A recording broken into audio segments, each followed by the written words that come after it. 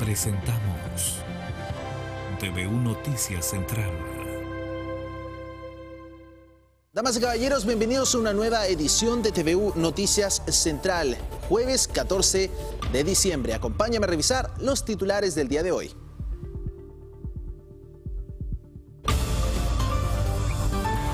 La Corporación Mutual Juan Bautista Van Basi obtuvo la concesión del monumento y sitio de memoria El Morro, concesión que operará por cinco años.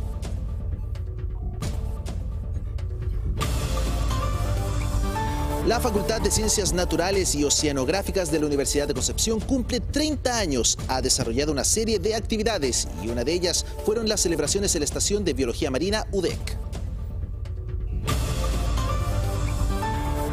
Elegir el mejor pan de Pascua fue el objetivo de este concurso realizado por INACAP C de Concepción Talcahuano. ¿Quieres saber quién fue el ganador? Todos los detalles en la nota de hoy. Pasamos a las primeras informaciones y Bienes Nacionales eh, ratificó de manera oficial la Corporación Mutual Bautista Banchoven Basi la concesión por cinco años del monumento histórico y sitio de memoria El Morro, ubicado en Talcahuano, con objetivo de preservar la memoria. Pasemos a ver detalles en el informe de Flavio Araneda. Este es el ex centro de detención y tortura El Morro en Talcahuano. Esta estructura fue utilizada en la dictadura cívico-militar chilena.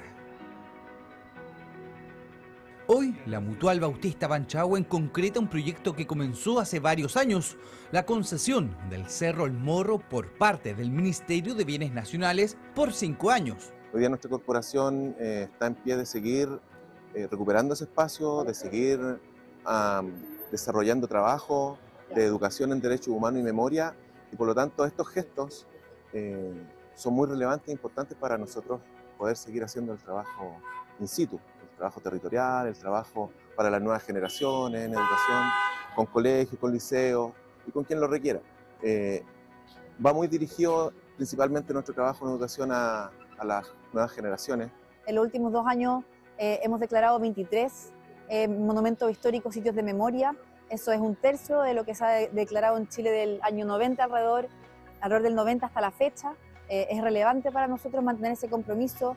Va en línea también con el programa Sitios de Memoria que permite entregar sostenibilidad eh, poquito a poco, ¿cierto?, a más sitios a lo largo del país. El Fuerte El Morro, ubicado junto al estadio del mismo nombre en Talcahuano, tiene su origen militar en la colonia, la independencia y luego en la dictadura cívico-militar chilena. El trabajo de la corporación es preservar el sitio con fines educativos para que los vejámenes de la tiranía que ahí ocurrieron no se vuelvan a repetir.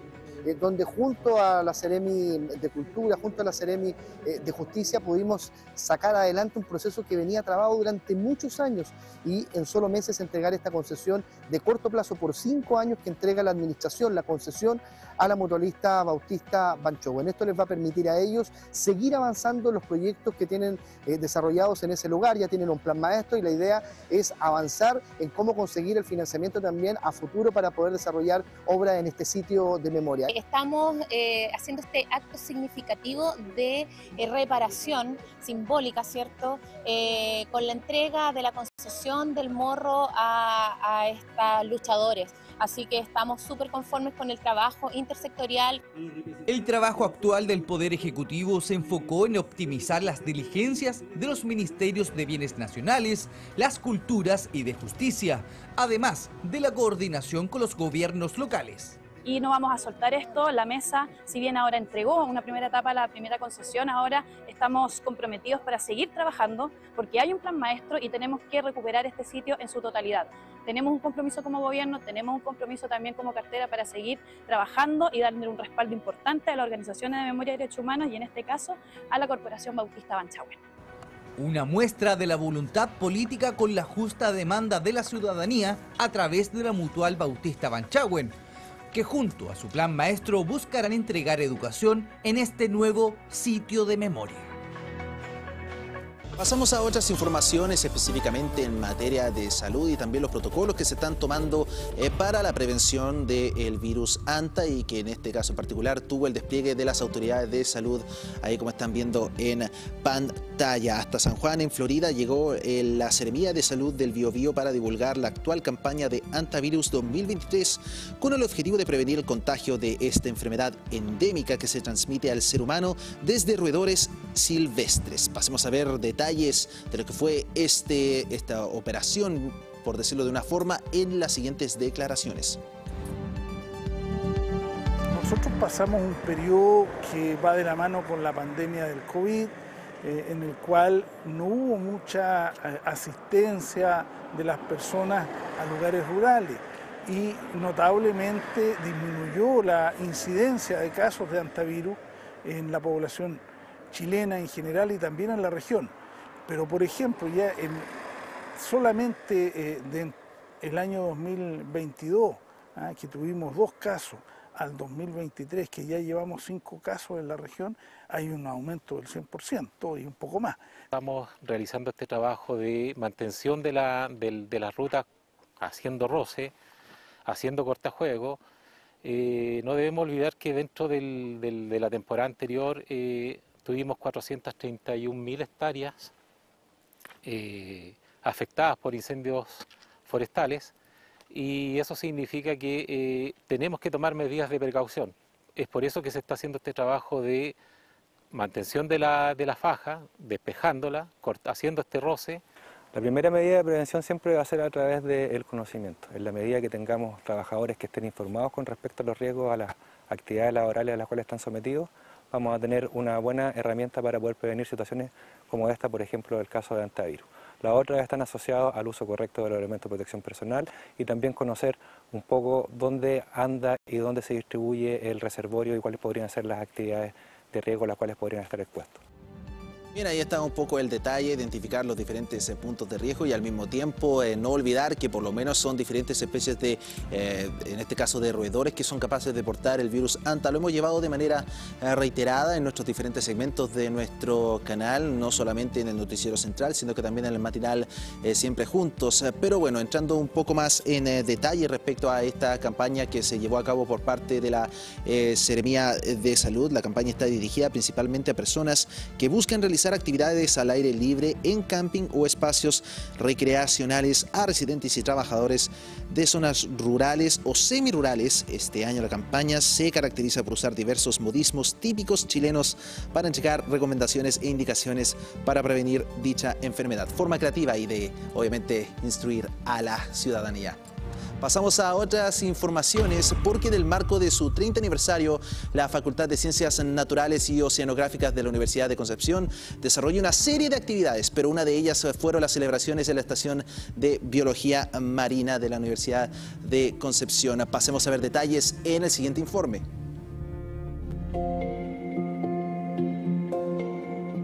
Esta es una jaiva, jaiva mora específicamente, presente desde Ecuador hasta el estrecho de Magallanes, especie que comparte espacios con otras. Tan solo una muestra, tesoros de nuestro ecosistema marino y que aún tienen mucho por conocer, conocimientos abordados desde el mundo académico. Aquí la UDEC nuevamente es protagonista, todo bajo un marco, el aniversario 30 de la Facultad de Ciencias Naturales y Oceanográficas de la Universidad de Concepción.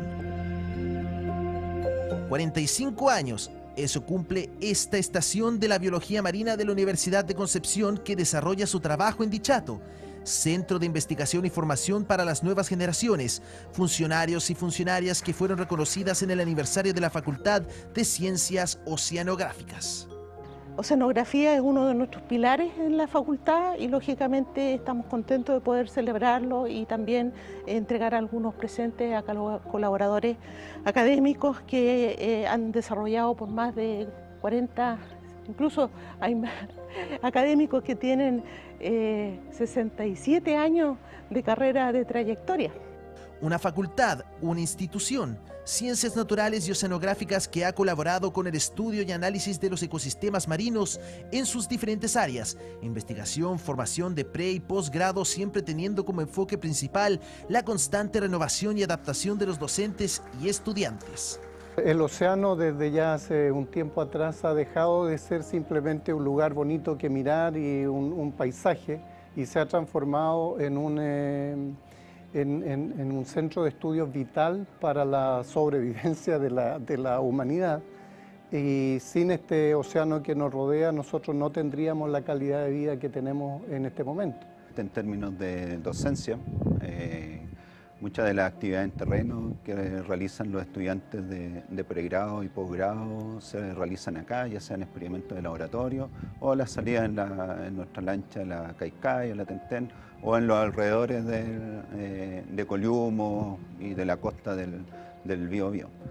Avances que continúan, una facultad que busca seguir creciendo y que tiene como meta final seguir descubriendo los secretos de nuestro océano.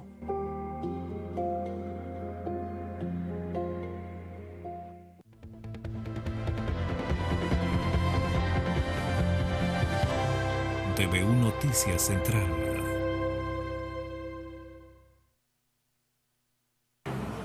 Una amenaza que parece muy pequeña, pero es un riesgo gigante. Un verdadero peligro para la economía del país. La mosca de la fruta. Por eso, si te gusta viajar, si tienes árboles frutales en tu casa, ¿y tú?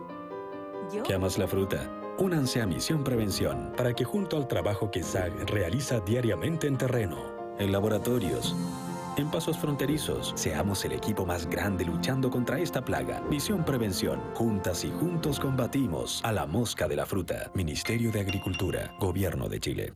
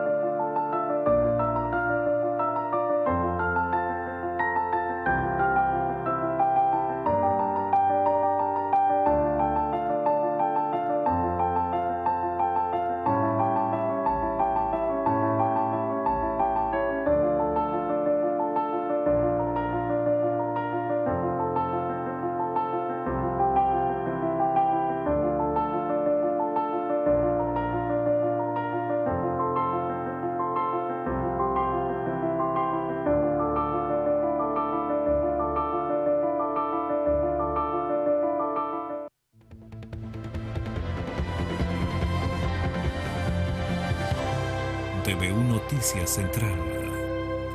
Pasamos a otras informaciones eh, después de la pausa y claro, evidentemente como habíamos anunciado en nuestro noticiero eh, de tarde, se había registrado un incendio en Florida, ahí como están captando algunas de las imágenes de lo que fue este reporteo por parte de uno de, nuestros equipos que estuvo eh, desplegado en la zona. Esto fue un incendio que se había generado en los puentes 4 y 5 en el sector de Florida y que bueno, después de los diferentes trabajos hay actualizaciones respecto a lo que fue esta contención de incendios forestales, por lo menos de manera preliminar y de acuerdo a lo que nosotros estuvimos revisando durante el día se quemaron en este total una hectárea.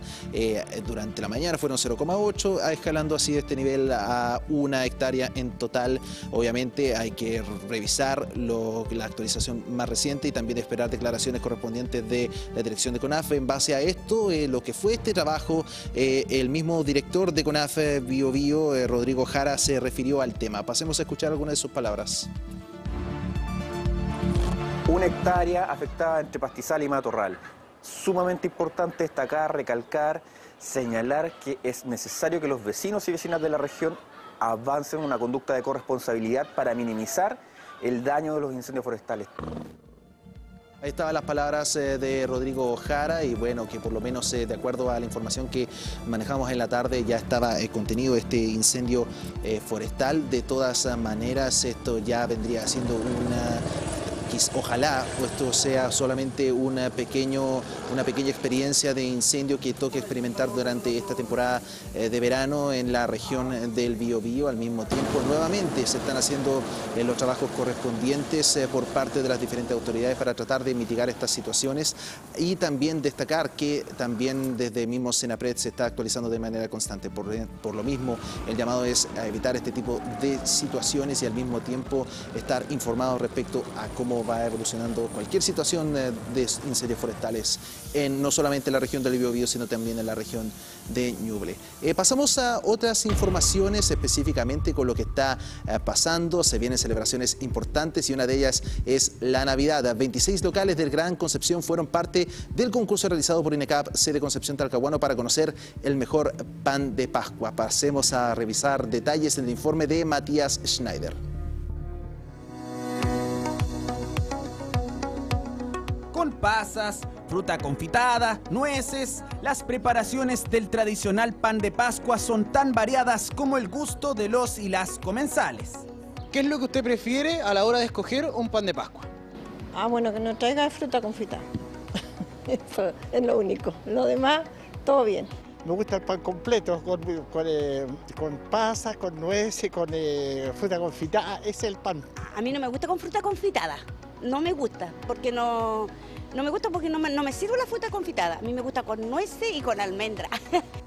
Pero el consenso está en que es una preparación imperdible en una fecha tan familiar como la Navidad. Dentro del pan de Pascua uno evoca situaciones, evoca momentos y eh, hay algo que nosotros a los alumnos cuando llegan acá a INACAP le decimos que es el amor, porque uno a través de la cocina transmite amor. En INACAP sede Concepción Talcahuano se pusieron el desafío de recorrer el Gran Concepción y escuche bien, escoger al mejor pan de Pascua.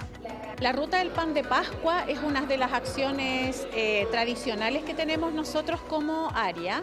Nuestro viejito pascuero incógnito visitó Concepción, Talcahuano, San Pedro de la Paz y comunas aledañas para eh, hacer esta compra incógnita y hacer este proceso de la cata del pan de Pascua, que es una cata completamente a ciegas.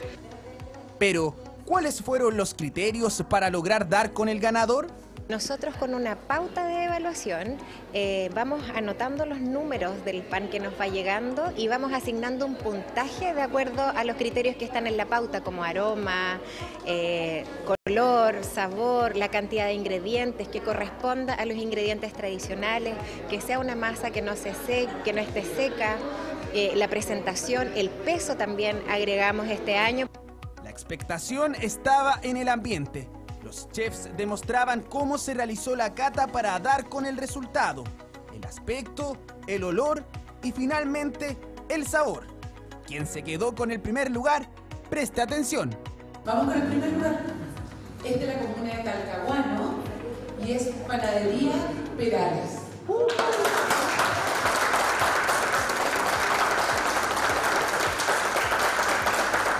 Qué bueno es el esfuerzo de hacer lo mejor de trabajar, del personal, que tenemos un personal muy bueno, tenemos un personal de muchos años. Todos tienen aquí muchos años acá. Este local de Talcahuano logró alzarse por sobre otros 26 establecimientos que realizan este tipo de preparación. Los otros ganadores fueron las panaderías La Única y Mariela. Ya lo sabe, para sorprender en esta época navideña y para que usted pueda comprobarlo, con su propio paladar. Pasamos a otras informaciones y también que tienen eh, relación con lo que está ocurriendo a nivel nacional, toda la información del eh, caso convenios, pero también desde su misma bajada local. No olvidar que muchos eh, o gran parte de los partidos del oficialismo, para ser preciso, se han visto involucrados en un fuerte cuestionamiento público, pero también va de la mano con unas declaraciones emitidas por la misma delegada presidencial Daniela Dresner hace tan solo unas horas. Estamos viendo el enlace del diario Concepción en esta oportunidad. Eh, informe del equipo digital. Daniela Dresner por caso Democracia Viva no tenía ninguna razón para pensar que eso era un delito en ese momento. Esas son algunas de sus declaraciones y que en este caso se refirió a la declaración que entregó a la Policía de Investigaciones donde indicó que una semana antes de que se conociera la información sobre los convenios entre la Ceremi de Antofagasta y la Fundación Democracia Viva, ella conoció la información, pero, y cito nuevamente, no tenía ninguna razón, no tenía ninguna razón para pensar que eso era un delito en ese momento. De acuerdo a la información entregada por la delegada en el momento que se recibió la información, hicieron las preguntas respecto a la legalidad y se le indicó que todo estaba en orden. También se mencionó la llamada recibida no fue una advertencia, que era una conversación personal y salió simplemente el tema. Sigamos bajando para no quedar ahí colgado de las declaraciones.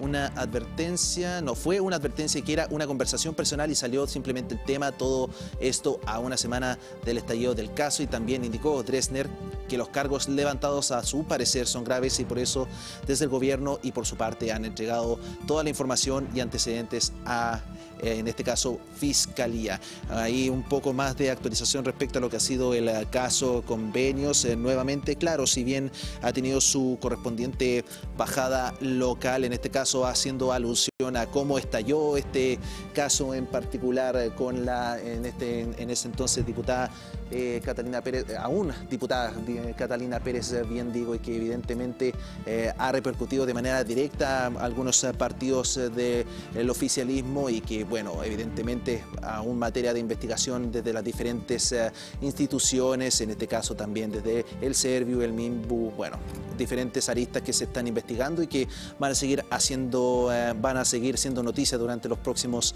eh, días. nosotros pasamos a otras informaciones que también tienen relación con cosas importantes que van a ocurrir este fin de semana, específicamente en materia de lo que son las elecciones. No olvidar que nosotros desde TVU, Diario La Discusión, Diario Concepción, Radio La Discusión, desde todas las plataformas de los medios UDE que estaremos ahí eh, presentando, eh, estaremos eh, transmitiendo en vivo, pero al mismo tiempo se hizo el llamado por parte de las autoridades a estar votando de manera informada y también al mismo tiempo se dieron a conocer las medidas para el voto asistido en esta oportunidad. Al mismo tiempo, autoridades se refirieron a la estas mismas medidas. Pasemos a repasar algunas de las declaraciones eh, de lo que fue esta información entregada por parte de CERVEL.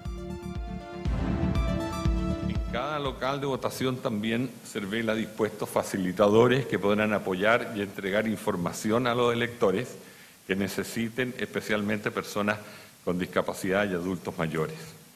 Es importante destacar también eh, que en nuestra campaña informativa para este plebiscito existe material especialmente dirigido a las personas con discapacidad que además de considerar las lenguas de señas, les informa cómo acceder al voto asistido, a las plantillas ranuradas eh, y braille y atención de videollamada. Las medidas que se toman actualmente para nosotros conservar nuestro derecho al secreto de nuestro voto, ya que eh, hace muchos años atrás eh, no se nos permitía, ¿cierto?, más que la, la asistencia, que el voto asistido, entrar con alguien a la Cámara. Y eh, bueno, hoy en día ciertos tipos de tecnología ¿cierto? Y, adecuaciones nos han permitido mantener nuestro secreto eh, a salvo, digamos, y mantenernos también nosotros sintiéndonos parte de, estas, de estos procesos, eh, en este caso este proceso constituyente y en el otro los procesos Em, fundamentales de nuestra democracia. Y especialmente cuando tenemos un voto obligatorio, como instituciones tenemos que dar las condiciones, las garantías y las adecuaciones para que todas las personas de nuestro país, todas las personas, todos los ciudadanos y ciudadanas con derecho a voto puedan efectivamente ejercer este derecho.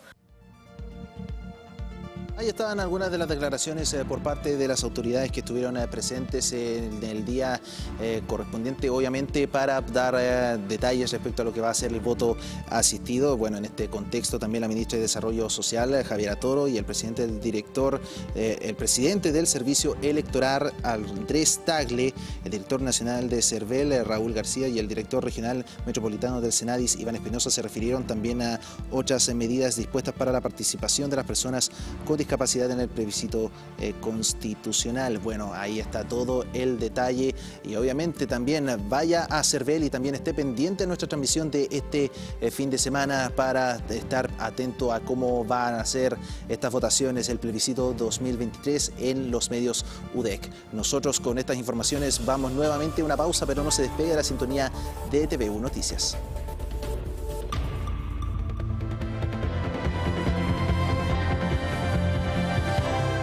TVU Noticias Central.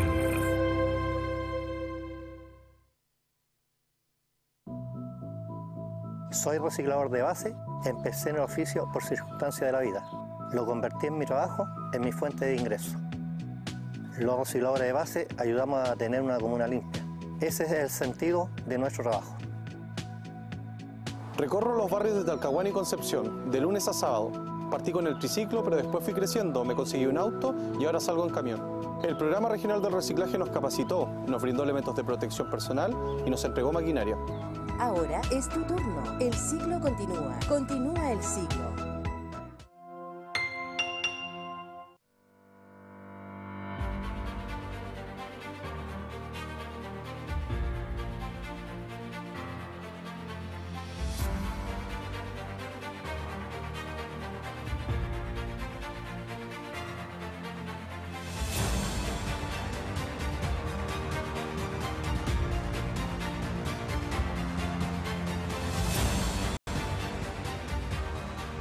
Revisito constitucional en medio SUDEC.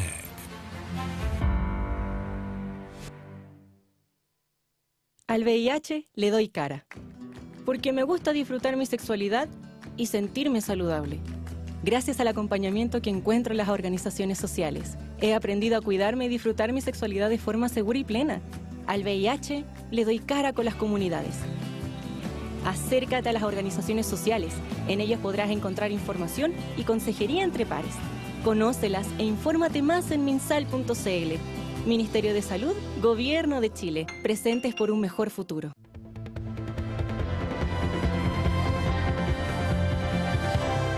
TVU Noticias Central. Hola, ¿cómo están? Eh, muy buenas noches. Acá desde la Pinacoteca de la Universidad de Concepción les presentamos algunos de los panoramas que tenemos para estos próximos días acá en Concepción y en las comunas aledañas. Eh, partimos con lo que va a ofrecer este fin de semana, estos días, el eh, Teatro Bio, Bio siempre sorprendiéndonos con una gran cartelera de espectáculos, ya sea escénicos, como danza, teatro, música y también tiene espacio para el cine. Justamente lo que va a ocurrir este viernes 15 y sábado 16 con eh, las exhibiciones de dos películas, destacadas películas de estos últimos años eh, del eh, continente europeo.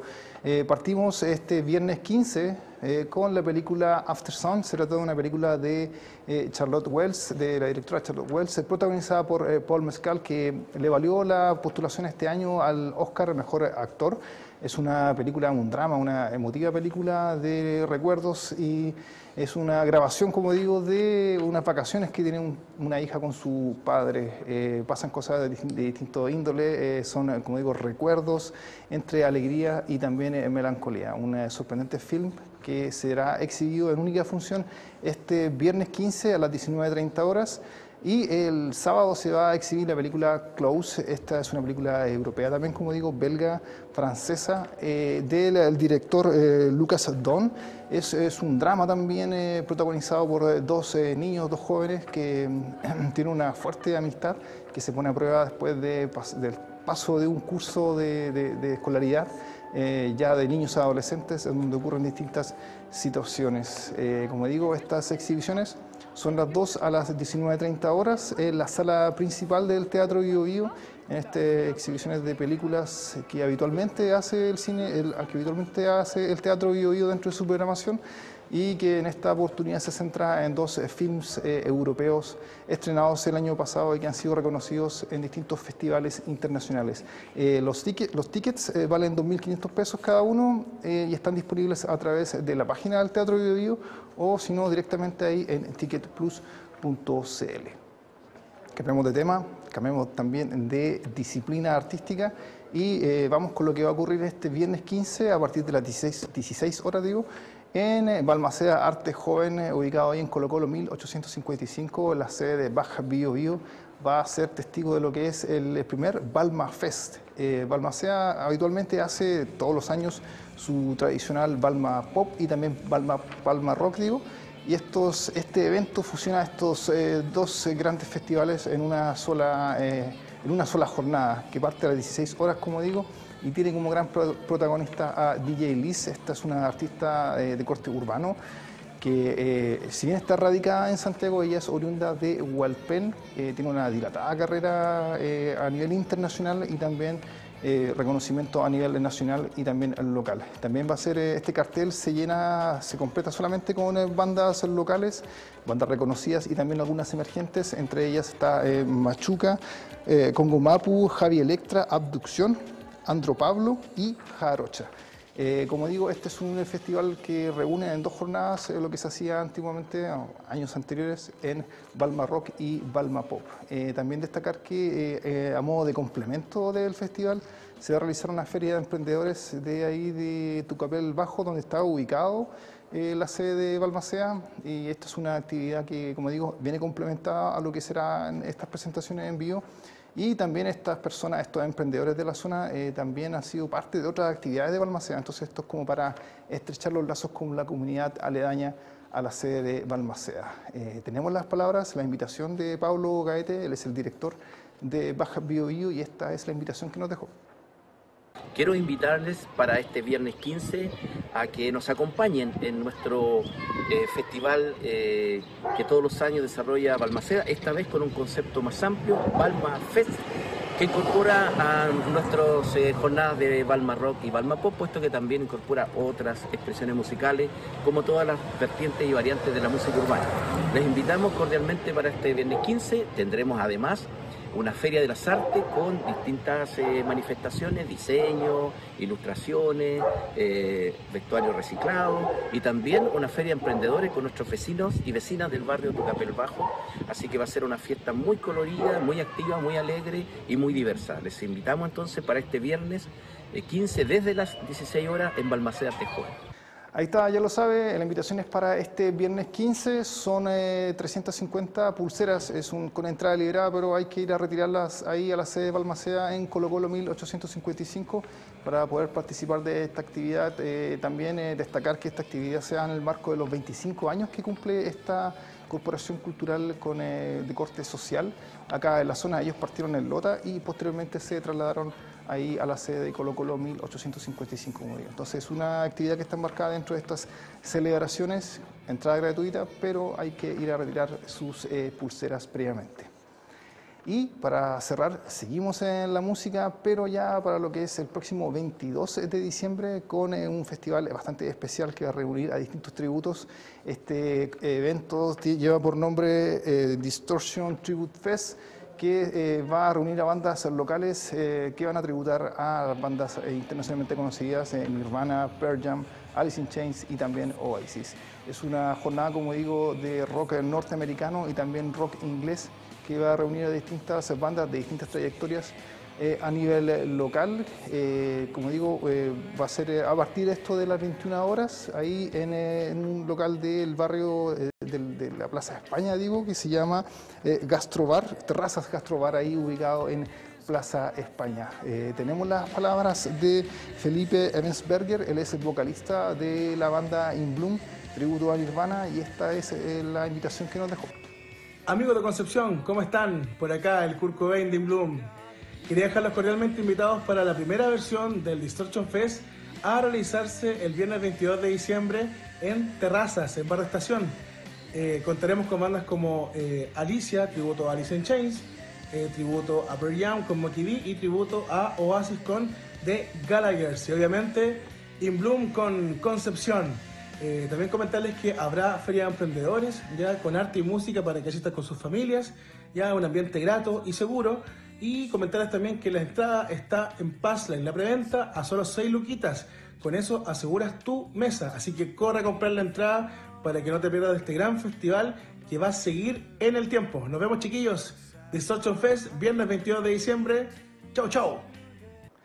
Ahí está, ya lo sabe, este tributo especial para la próxima semana, Distortion Tributo Fest, que va a reunir a distintas bandas de acá de la zona, tributando a Nirvana, Alice in Chains, Pearl Jam y también a Oasis. Eh, las entradas tienen un valor de 6 mil pesos en preventa y 8 mil pesos el día del evento ahí en puerta en eh, Terraza Castro Bar, ubicado ahí en Plaza España. Las entradas se pueden eh, adquirir a través del Instagram del evento, Distortion Tributo Fest y también en las distintas eh, cuentas y redes sociales de las bandas que van a participar del evento. Con este interesante concierto tributo para la próxima semana me despido. No se olvide revisar eh, www.diarioconcepcion.cl, ahí pueden encontrar estos panoramas y otros para los próximos eh, días previos a la Navidad. Y eh, bueno, no se separe de la sintonía de TV Noticias, tras la pausa continúa su noticiero central.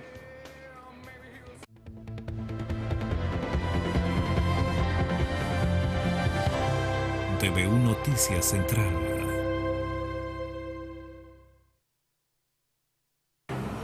Una amenaza que parece muy pequeña, pero es un riesgo gigante. Un verdadero peligro para la economía del país. La mosca de la fruta. Por eso, si te gusta viajar, si tienes árboles frutales en tu casa. ¿Y tú? ¿Yo? ¿Que amas la fruta? Únanse a Misión Prevención para que junto al trabajo que ZAG realiza diariamente en terreno, en laboratorios, en pasos fronterizos, seamos el equipo más grande luchando contra esta plaga. Misión Prevención. Juntas y juntos combatimos a la mosca de la fruta. Ministerio de Agricultura, Gobierno de Chile. La internet fibra más rápida de todo Latinoamérica te lleva a Lollapalooza Chile 2024. Contrata Mundo y estarás participando por entradas VIP a sortear entre clientes y nuevas contrataciones. Somos la conexión oficial de Lollapalooza Chile 2024. Suerte Mundo. Tecnología al alcance alcance de todos.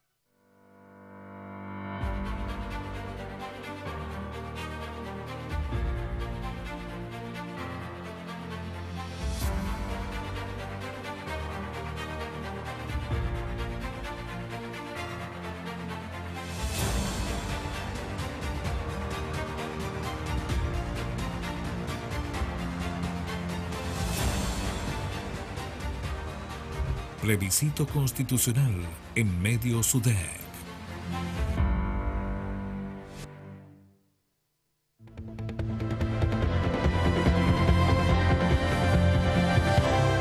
TVU Noticias Central. Volvemos de la pausa y bueno, nos gustaría pasar a informaciones, reconocimientos en realidad eh, emitidos por parte de las autoridades hacia eh, nuestro centro de Cuba de la Universidad eh, de Concepción. No olvidar que es una de las incubadoras más importantes a nivel internacional y por lo mismo también se reconoció esto por la cantidad de cursos y también capacitaciones que ofreció esta incubadora. Y en este contexto, el mismo CEN se reconoció a la Universidad de Concepción como una institución que ejecutó la mayor cantidad de recursos gratuitos para la comunidad gracias a la modalidad de precontrato durante el año 2023. Este premio fue otorgado en el marco de una ceremonia celebrada en el Hotel Terrano, destacando el compromiso del UDEC con el desarrollo de los terrenos y la generación de capacidades significativas para la búsqueda de empleo y generación de emprendimientos en todo el país. Hay declaraciones respecto a lo que fue este reconocimiento. Pasemos a escucharlos en este caso la Universidad de Concepción es la única universidad eh, que fue premiada en esta oportunidad, que fue reconocida por el CENSE por el tremendo aporte que hacen a las capacitaciones eh, que nosotros generamos a través de nuestro eh, Servicio Nacional de Capacitación y Empleo en la región del Biobío. y con esto también los instamos a que sigamos trabajando con las franquicias tributarias y podamos generar estas becas laborales que hoy día van a significar la capacitación, pero más adelante van a significar el empleo Estamos muy contentos hoy día como Universidad de Concepción y Discapacita de recibir este reconocimiento por ser la institución a nivel regional que más cursos de precontrato realizamos. Esto quiere decir que impactamos a casi mil personas quienes recibieron un programa de formación, capacitación o una especialización en temáticas de oficio y emprendimiento de manera 100% gratuita, financiada vía franquicia tributaria por la Universidad de Concepción. Así que nos alegra hacer un aporte al desarrollo regional, al desarrollo de las comunas y también con un enfoque de género trabajando siempre con los programas de hogar y con las mujeres de nuestra región para mejorar la calidad de sus vidas. Ahí están algunas de las palabras, obviamente, eh, palabras de alegría respecto al trabajo que se realiza desde la misma Universidad de Concepción, todo con el enfoque, obviamente, de vinculación con el medio, pero al mismo tiempo tratar de darle a estas personas que están involucradas en estas actividades de la universidad eh, una oportunidad laboral, siempre es importante, orientación, capacitación, en fin, no solamente ocurre en la misma incubadora, sino también UDEC Capacita. Bueno, están todas las informaciones para que usted logre formar parte de estas eh, iniciativas y campañas, todo para que usted y también la misma comunidad sea eh, beneficiada. Eh, con estas informaciones eh, pasamos a revisar cómo va a estar el tiempo durante los próximos tres días en nuestra región del Biobío. Vamos a ver los diferentes puntos de las diferentes provincias. De manera inmediata vamos a Concepción. El viernes va a estar parcialmente nublado con 16 de máxima, 8 de mínima. El sábado prepárese porque vuelven las lluvias, 16 de máxima, 11 de mínima. Y el domingo igual que el viernes, pero con 17 de máxima, 9 de mínima, parcialmente nublado el día domingo. Prepárese también porque va a estar así para las votaciones. Los Ángeles nos trasladamos a la provincia del Biobío el día viernes 22 de máxima, 8 de mínima, parcialmente nublado. Esta vez eh, vamos al sábado, va a estar lloviendo el sábado, 20 de máxima, 10 de mínima el día sábado y el domingo va a estar parcialmente nublado, 19 de máxima y 9 de mínima en Los Ángeles. Nos trasladamos a Lebu, a el Golfo de Arauca, el día viernes parcialmente nublado, 15 de máxima, 8 de mínima. Y el día sábado va a estar lloviendo, pero con 15 de máxima, 10 de mínima en la Ciudad del Viento. Y el domingo parcialmente nublado, 16 de máxima, 8 de mínima en Lebu.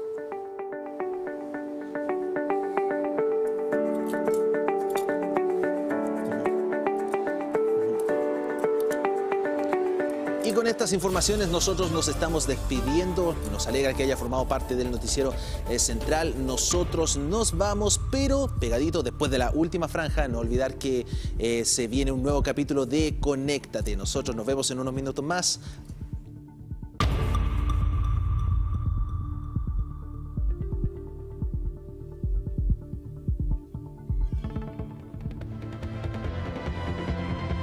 Hemos presentado TVU Noticias Central.